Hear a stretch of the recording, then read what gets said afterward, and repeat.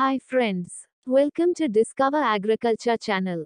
If you're not yet subscribed to our channel, please subscribe now. Planning and designing your cowshed layout can be challenging but is crucial to the success of your structure. Your livestock should be comfortable and protected from the elements, and you should have ease of access to provide feed and clean your stalls. When panning a cowshed, you should consider your barn layout, adequate stall space, flooring, and livestock access to food and water. You should also consider the best location for your cowshed and ancillary structures you may need to service your livestock.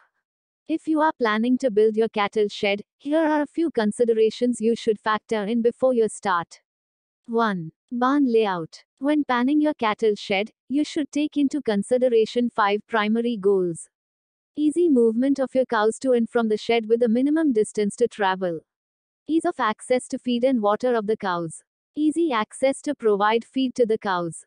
Easy manure removal. Possibility to expand your shed at a later date. 2. Location. You should take into account where the best position is when building your dairy barn. It would help if you considered the feeding storage area, and there should be ample space for arranging an open walk. You should make allowances for 6 square meters for each cow and 9 square meters for a dairy cow and calf. You should also factor in the space required for stall partitions and space for feeders and drinking troughs. It would help if you never placed your cowshed in low lying areas where the groundwater level is close to the surface. Your dairy shed should be located away from the farm's residential structures as the noise and odor may be disturbing to residents.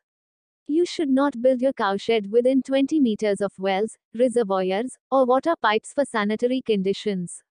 Your cowshed should provide proper protection to your animals, and the orientation of your cowshed should take into account prevailing conditions. Dominant wind directions in cold climates and the orientation of your cowshed to the full effects of the direct sun should be considered when finding your ideal location.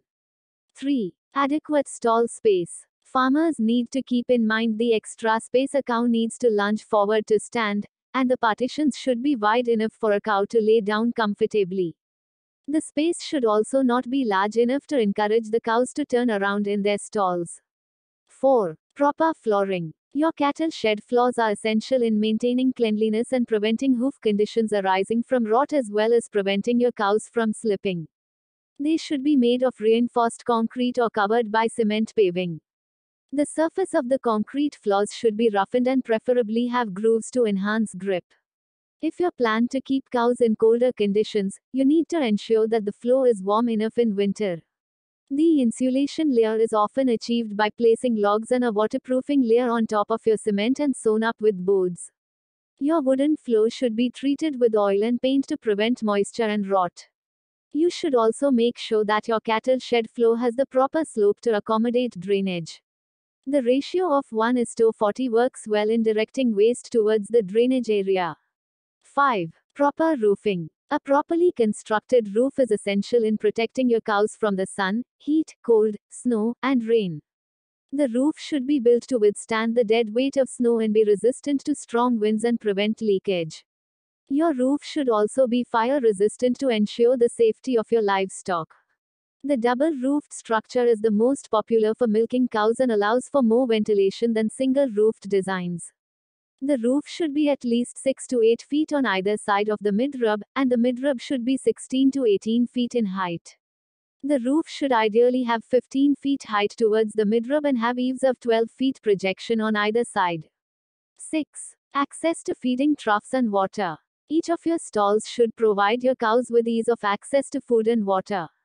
The manger surface should be at least 36 inches wide and be smooth to encourage feeding. Ceramic tiles or high strength concrete are good choices for silages, which may etch over time with lower quality concrete. It would be best if you elevated your feed manger side by 4 inches above the cow alley. The feed delivery alley in larger cowsheds should accommodate feed delivery without harming the cows. Your cows should also have access to a permanent supply of fresh drinking water to thrive. 7. Insulation of your cowshed. Your dairy shed must be adequately insulated if you plan to build your housing structure in colder climates. Insulation prevents heat loss and moisture buildup due to condensation. It is suggested that your roof insulation should maintain an inside temperature of 1 to 2 degrees Fahrenheit above the outdoor temperature in colder climates. This insulation not only protects your cows from the cold but also lessens the radiant heat of the sun in hot conditions. 8. Heat control and ventilation. If you plan your cowshed correctly, you need to factor in ventilation for your cow's health and comfort. You will need fast moving air in the resting areas in summer and a gentle breeze in winter. You will need to provide fresh air in your barn to eliminate contaminated, warm, and humid air. Lack of proper ventilation may cause heat stress in summer and respiratory illness in winter.